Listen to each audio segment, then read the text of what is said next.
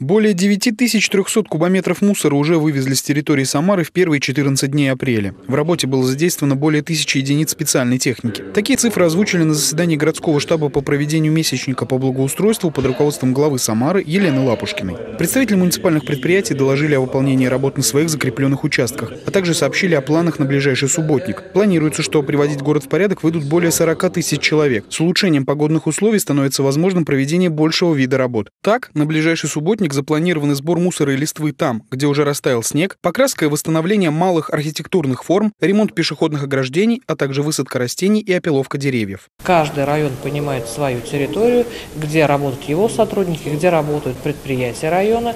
Тем более хочу сказать огромное спасибо руководителям предприятий, которые приняли решение о благоустройстве прилегающих территорий или дополнительных территорий, а не только на территории своих предприятий, за что огромное спасибо.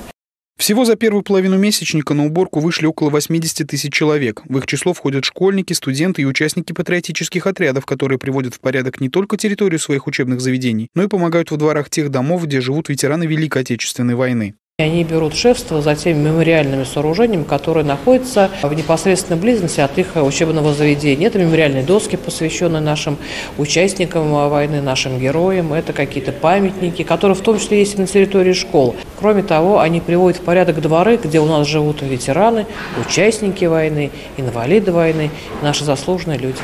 Глава города продолжает держать на контроле работы по восстановлению благоустройства в местах, где зимой проводили аварийные вскрытия. Сейчас по постоянной схеме восстановлены 43 объекта, еще на 65 участках работы ведут в эти дни. Особое внимание Елена Лапушкина поручила обратить на аллею трудовой славы, где пройдет празднование Дня труда, а также объекты инфраструктуры, которые будут задействованы в проведении Всероссийского фестиваля «Студенческая весна». Андрей Горгуленко, Николай Епифанов. События.